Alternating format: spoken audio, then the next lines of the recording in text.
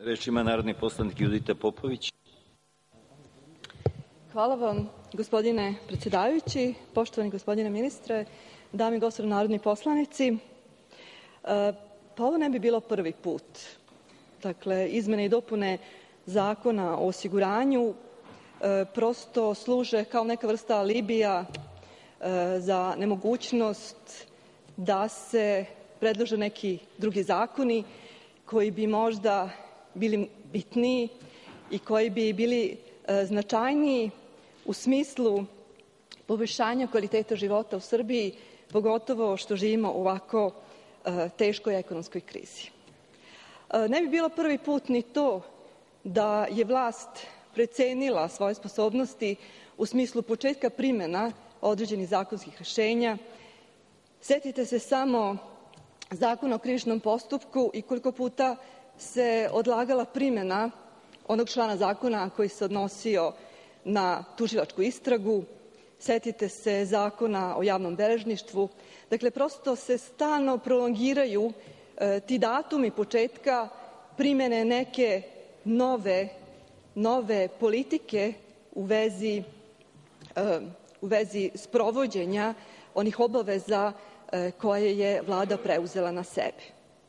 Dakle, nije to problem u vezi samo ovog predloga zakona o izmenama i dopunama Zakona o osiguranju, to je generalno problem sa zakonodavstvom u Srbiji.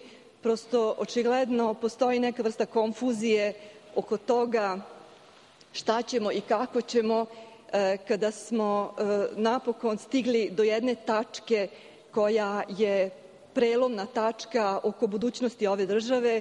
Dakle, država se opredelila, Vlada se opredelila da zaista krene tim putem ka evropskim integracijama, a pritom ostalo je toliko toga nedorečenog, toliko toga neraščišćenog u samoj politici koja je bila na dnevnom redu kada su se sprovodili izbori, kada je ta politika postala sasvim nešto drugo u hodu. Dakle, očigledno postoje neka nerazumevanja i nesnalaženja oko predlaganja zakona, oko sprovođenja zakona.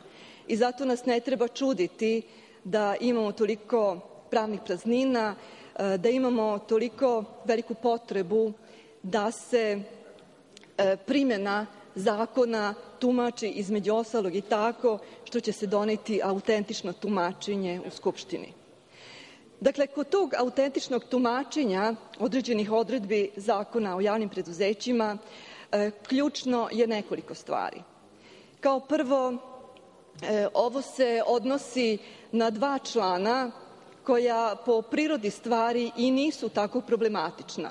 Dakle, tu čak i nema takvih nekih nedorečenosti, odnosno nekih praznina koje iziskuju ovakvu vrstu reakcije Vlade, odnosno Odbora za ustavna pitanja i zakonodavstvo. Dakle, nije prosto ni bilo potrebno da se na ovaj način reaguje na neke nejasnoće. To su neke stvari koje se sami po sebi podrazumevaju. Dakle, normalno je da onaj ko konkuriše za tako jedno ozbiljno mesto da rukovodi jednim javnim preduzećem i želi da postane direktor, da mora da bude i punoletan i mora da bude poslovno sposoban. Pored svih ovih uslova koji su predviđeni članom 29. stav 5. Dakle, nije to problem. Problem je u tome što tu postoje neke druge stvari na koje se niste osvrnuli, a očigledno da ima problema u sprovođenju Zakona o javnim preduzećima, a to je očigledno svakodnevno. Vidimo da ima tu problema oko toga da se u stvari sprovodi zakon, da se poštuju odredbe zakona, da se zaista odluči o tome da bude pravi menadžment na čelu javnih preduzeća koji neće proizvoditi samo štetu i koji u stvari neće služiti određene partijske interese. Jer šta drugo reći kada se ne poštuje onaj član Zakona o javnim preduzećima 66 stav 4 koji opet vezuje vezuje Vladu za neki rok u smislu e, izbora direktora javnih preduzeća. Pogledajmo samo kako se to nakaradno tumači taj član i koliko se u stvari e, ne poštuje e, neka ideja koja je očigledno postojala u momentu donošenja zakona i koju ideju je inače i Liberalno demokratska partija podržala kada je predlagala da se veže za 30. jun 2012. godine izbor tih direktora, odnosno 2013. godine, ja se izvinjavam. Međutim, to se ne dešava ili ukoliko se i desilo, desilo se samo kod nekih javnih preduzeća koje nemaju toliki značaj kao što je recimo Srbijagas ili kao što je Elektroprivreda i slično. Dakle, i dalje imamo tu situaciju da se zapošljavaju e, partijski kadrovi, i dalje imamo tu situaciju da se ništa bitnije ne menja u javnim preduzećima. Kada vi imate jednu pravnu prazninu, kada imate neki problem oko toga da će se kreativno tumačiti e, određene odredbe jednog zakona, e, u tom smislu vi imate interpretacije koje mogu dovesti i do zaista e, ozbiljnih situacija u smislu e, koruptivnog delovanja. Jer ukoliko vi možete i na ovaj i na onaj način da odlučujete, vi prosto e, dolazite u iskušenje da primenjujete odredbu zakona prema sopstvenom interesu, prema interesu svoje stranke, pogotovo kada se radi o o menadžmentu, odnosno kada se radi o javnim preduzećima e, koja su e, evidentirani kao e, najveći problem današnje ekonomije, ekonomske politike u Srbiji.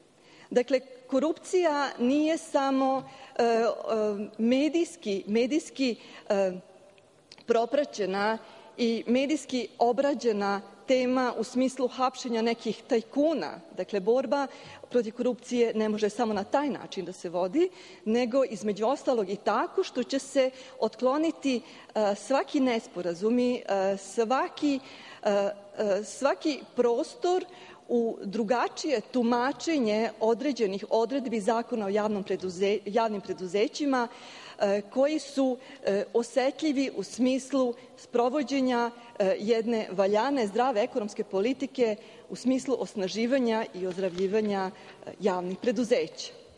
Dakle, tu se malo toga uradilo, bez obzira što postoje određena dobra rešenja u Zakonu o javnim preduzećima, ali i ta dobra rešenja su se nekako e, na jedan veoma pogrešan način e, tumačila i na pogrešan način su i te odredbe sprovođene.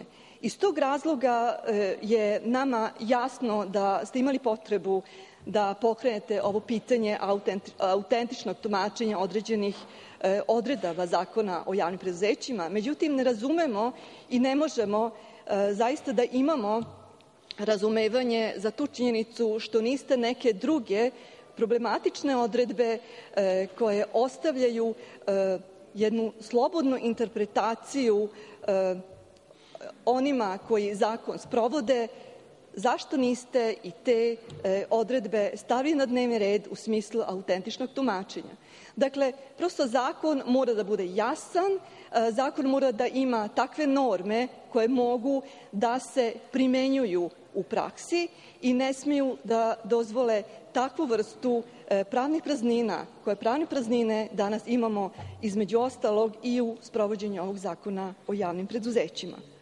Dakle, sve je to sve to otvoreno i sve to na dnevnom redu i kada govorimo i o prvoj i o drugoj tački dnevnog reda, e, ali e, zaista je bilo potrebno da se možda malo više potrudite oko, oko samog zakonodavstva, oko zakonodavne politike, koja ne može biti na ovaj način ad hoc i ne može ovako prosto da popuni prazan hod e, i izvršne vlasti i zakonodavne vlasti, zato što taj prazan hod je nastao iz tog razloga što ste propustili nešto da radite, što niste bili sigurni kako trebate da radite, što ste doneli neka polovična rešenja, što ste želeli možda da idete jedan korak napred, ali vam je bilo zaista teško da napravite taj jedan korak, pa ste se u hodu predomislili, pa ste, pa ste negde zastali.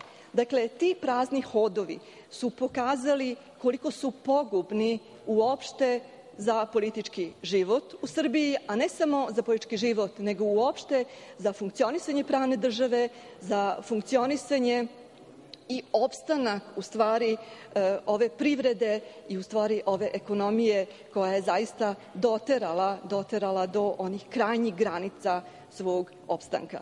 Dakle, ukoliko imate zaista ozbiljnu nameru da promenite taj svoj pristup prema svim gorućim problemima u Srbiji, u tom slučaju nije vam dovoljno da predlažete ovakve vrste izmene i dopune jednog zakona o osiguranju ili da predlažete autentično tumačenje potpuno benignih odredbi ovog Zakona o javnim preduzećima, nego je potrebno nešto daleko više, a to je pre svega da ta ekonomska politika, da ta politika u smislu modernizacije Srbije bude e, daleko sveobuhvatnija, daleko ozbiljnija i u stvari e, da se ne prepusti sve e, jednom olako prihvaćenom načinu dosadašnjeg rada vlasti, odnosno vlada i prošlih vlada koje prosto nisu razumele teret